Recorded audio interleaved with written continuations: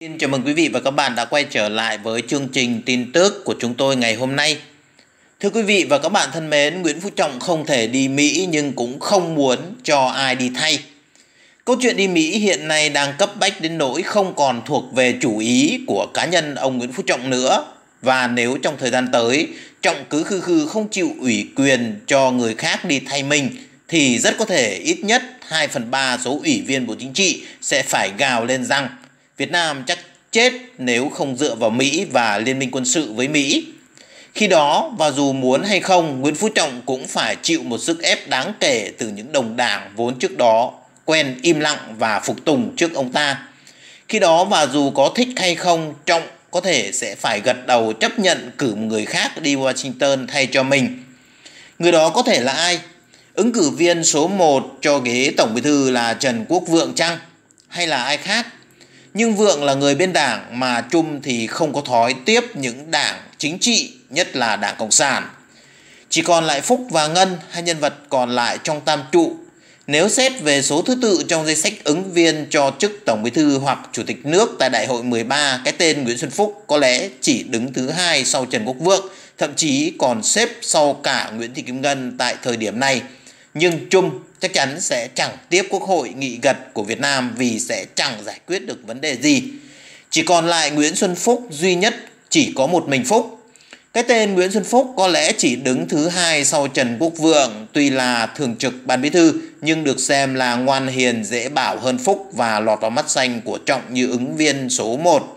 Chỉ có điều, Trần Quốc Vượng là người bên đảng mà Trung thì không có thói quen tiếp đảng chính trị, nhất là đảng Cộng sản. Nếu Nguyễn Phú Trọng không thể cải lão hoàn đồng càng sớm càng tốt, vai trò đi Mỹ của ông ta sớm muộn sẽ rơi vào tay người khác, bất chấp Trọng có thích hay không. Hơn nữa, tình thế của Đảng Cộng sản Việt Nam cùng chính thể độc tài này đã vào ngõ cụt và mức độ nguy hiểm do bị Đảng Anh Trung Cộng đe dọa ngày càng hiện rõ. Sau tuyên bố được hiểu như một tối hậu thư vào tháng 9 2019 của Bộ Ngoại giao Trung Quốc – về chủ quyền của Bắc Kinh ở bãi tư chính và đòi hỏi Việt Nam phải ngừng mọi hoạt động khai thác dầu khí ở khu vực này. xác suất nổ ra chiến tranh từ lá cờ 16 chữ vàng đã tăng vọt. Tình thế nguy khốn ấy buộc đảng em trong nỗi cô đơn tận cùng, dù đã thủ sẵn trong túi cả một tá tối lược đối tác chiến lược toàn diện với nhiều nước phải tranh cướp thời gian để nhích sang Hoa Kỳ Đối trọng quân sự duy nhất đối với đối tác chiến lược quan trọng nhất của Việt Nam là Trung Quốc ở Biển Đông.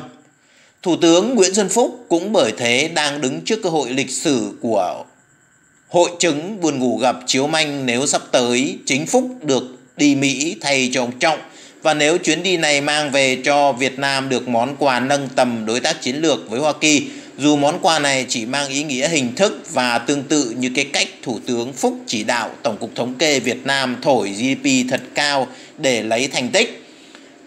Đó sẽ là một thành quả chính trị ghê gớm đủ để biến cá nhân của Nguyễn Xuân Phúc trở thành ứng cử viên số 1 cho cái ghế Tổng Bí thư tại Đại hội 13. Nếu từ đây đến đó, Nguyễn Phú Trọng không thể cải thiện hơn về mức độ đề kháng tai biến mà có thể khiến cho Thái tử Trần Quốc Vượng mất ngôi –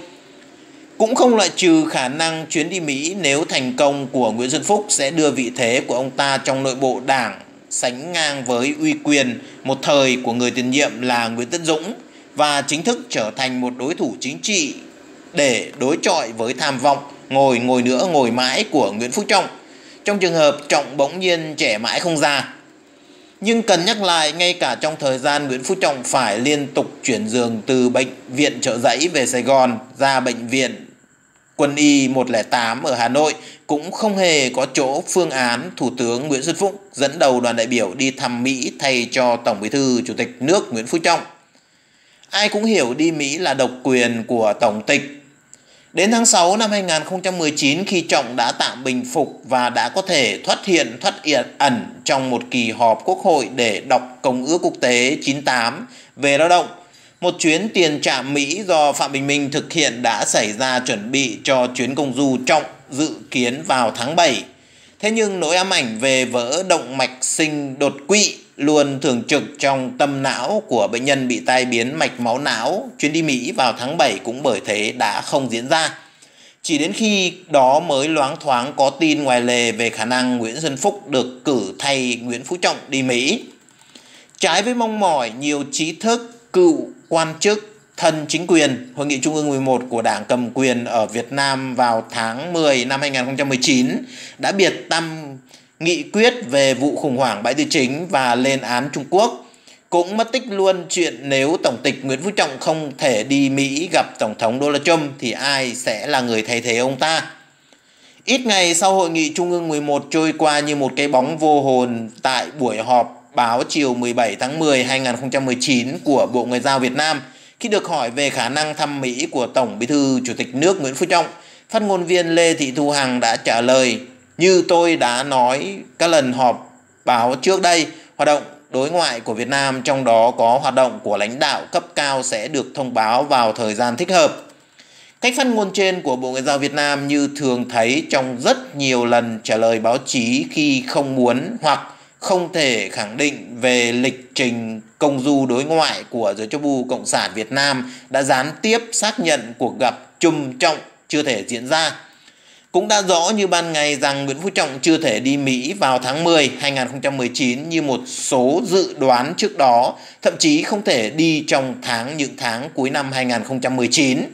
Thậm chí chuyến đi này còn phải dự liệu cho tới năm sau nếu Donald Trump còn chút thời gian ngoài cuộc chạy đua tái cử Tổng Bí thư Mỹ bận ngập đầu và tất nhiên với điều kiện trọng phải có đủ sức khỏe để không thể thực hiện một chuyến bay dài đến Washington mà còn phải xuất hiện trước ống kính soi mói và phân tích tỉ mỉ của báo giới và các cơ quan tình báo phương Tây đến từng nếp nhăn trên khuôn mặt của ông ta.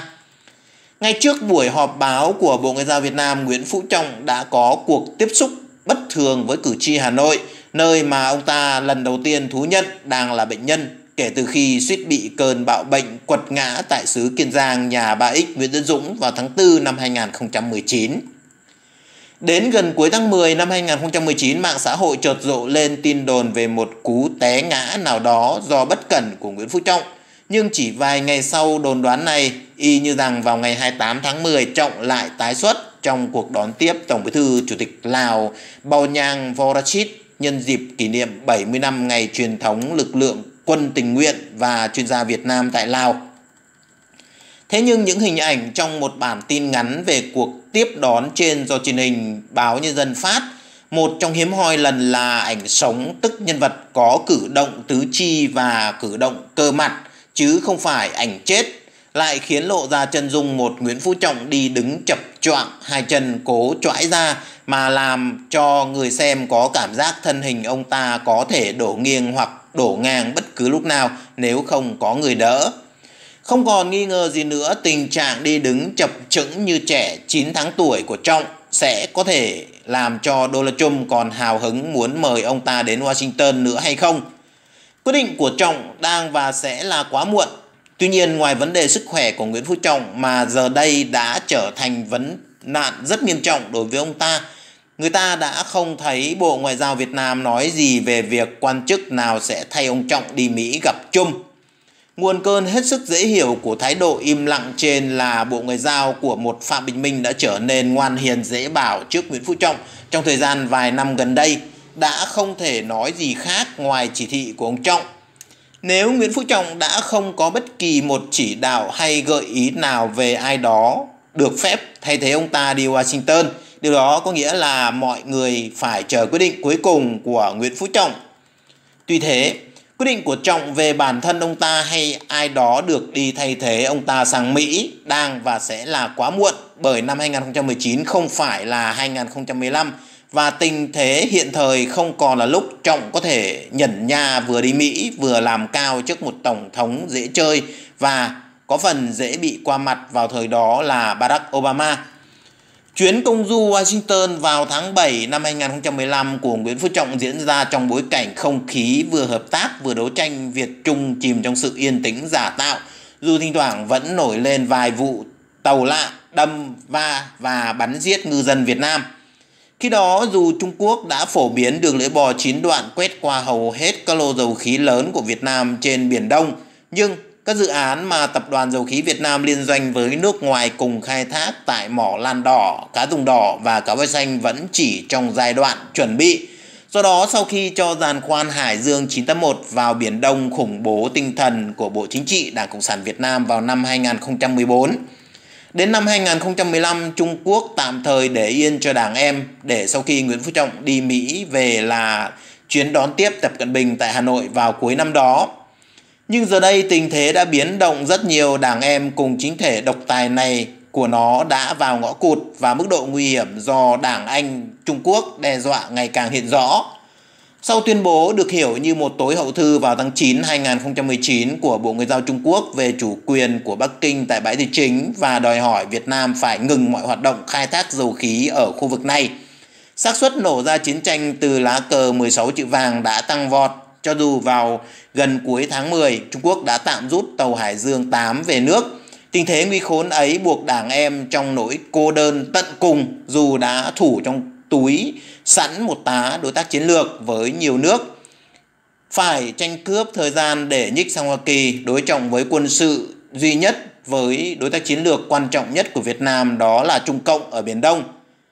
Do đó, câu chuyện đi Mỹ hiện nay đang cấp bách đến nỗi không còn thuộc về chủ ý của cá nhân Nguyễn Phú Trọng nữa và nếu trong thời gian tới Trọng cứ khư khư không chịu ủy quyền cho người khác đi thay mình thì rất có thể ít nhất 2 phần 3 số ủy viên Bộ Chính trị sẽ phải gào lên rằng Việt Nam chắc chắn sẽ chết nếu không dựa vào Mỹ và liên minh quân sự với Mỹ. Khi đó, dù muốn hay không, Nguyễn Phú Trọng cũng phải chịu một sức ép đáng kể từ những đồng đảng vốn trước đó đã quen thói im lặng và phục tùng trước ông ta. Khi đó và dù có thích hay không, Trọng có thể phải gật đầu chấp nhận cử một người khác đi Washington thay cho mình. Người đó là ai? Ứng cử viên số 1 cho ghế Tổng Bí thư là Trần Quốc Vượng chăng? Không phải. Nhưng Vượng là một người bên đảng và Trung thì không có thói quen tiếp đảng chính trị, nhất là đảng Cộng sản. Chỉ còn lại Nguyễn Xuân Phúc và Nguyễn Thị Kim Ngân, hai nhân vật còn lại trong tam trụ của Đảng Cộng sản Việt Nam. Nếu xét về số thứ tự trong danh sách ứng viên cho chức Tổng Bí thư hoặc Chủ tịch nước tại Đại hội 13, cái tên Nguyễn Xuân Phúc có lẽ chỉ đứng thứ hai sau Trần Quốc Vượng, thậm chí còn xếp sau cả Nguyễn Thị Kim Ngân tại thời điểm này. Nhưng Donald Trump chắc chắn sẽ chẳng tiếp Quốc hội nghị gật của Việt Nam vì sẽ chẳng giải quyết được vấn đề gì. Chỉ còn lại Nguyễn Xuân Phúc duy nhất chỉ có một mình Nguyễn Xuân Phúc. Nhưng cần nhắc lại, ngay cả trong thời gian Nguyễn Phú Trọng phải liên tục chuyển giường từ bệnh viện trợ giấy ở Sài Gòn ra bệnh viện quân y 108 ở Hà Nội, cũng không hề có chỗ cho phương án Thủ tướng CLMV Nguyễn Xuân Phúc dẫn đầu đoàn đại biểu đi thăm Mỹ thay cho Tổng Bí thư Chủ tịch nước Nguyễn Phú Trọng. Ai cũng hiểu đi Mỹ là độc quyền của Tổng tịch. Đến tháng 6 năm 2019 khi Trọng đã tạm bình phục và đã có thể thoát hiện thoát ẩn trong một kỳ họp quốc hội để đọc Công ước Quốc tế 98 về luật lao động, một chuyến tiền trạm Mỹ do Phạm Bình Minh trực tiếp thực hiện đã xảy ra chuẩn bị cho chuyến công du của Trọng dự kiến vào tháng 7 của năm 2019. Thế nhưng nỗi ám ảnh về vỡ động mạch sinh đột quỵ luôn thường trực trong tâm não của bệnh nhân bị tai biến mạch máu não. Chuyến đi Mỹ vào tháng 7 cũng bởi thế đã không diễn ra. Chỉ đến khi đó mới loang thoáng có tin ngoài lề về khả năng Nguyễn Xuân Phúc được cử thay cho ông Trọng đi Mỹ. Nhưng rõ là bệnh nhân Nguyễn Phú Trọng dù đã bộc lộ nhiều dấu hiệu chưa thể đi lại bình thường, đã chẳng hề quên nhu cầu chính trị lẫn nhu cầu danh tiếng nào ngay sau khi ông ta tạm phục hồi sức khỏe và kể cả khi những dấu hiệu xuôi tay lại lộ ra. Từ sau tháng 7 2019 đến nay và cả ngay khi đã phải thú nhận rằng đang là bệnh nhân, vẫn không có bất kỳ một dấu hiệu bật đèn xanh nào cho Nguyễn Phú Trọng dành cho Nguyễn Xuân Phúc. Cho dù phương án Phúc đi Mỹ sẽ có thể gặp phải sự phản đối của Donald Trump, và cho dù Phúc có thể là người rất thích đi Mỹ rất muốn mang về Việt Nam quan hệ đối tác chiến lược với Mỹ để thỏa ý chí rất thích làm Tổng Bí thư tại Đại hội 13 sắp tới. Xin chân thành cảm ơn thời gian theo dõi của quý vị và các bạn dành cho chương trình của chúng tôi đến phút cuối. Hãy để lại những lời bình luận góp ý để giúp cho chúng tôi thực hiện các chương trình kế tiếp một cách tốt hơn. Hãy bấm một nút chia sẻ để cho thông tin được lan tỏa đến với nhiều người hơn. Hãy bấm một nút đăng ký để trở thành thành viên tích cực của kênh. Hãy bấm vào hình quả chuông bên cạnh nút đăng ký để nhận được những thông báo nhanh nhất, sớm nhất về các chương trình của chúng tôi sắp phát hành. Xin chân thành cảm ơn và hẹn gặp lại quý vị và các bạn trong các chương trình kế tiếp của chúng tôi.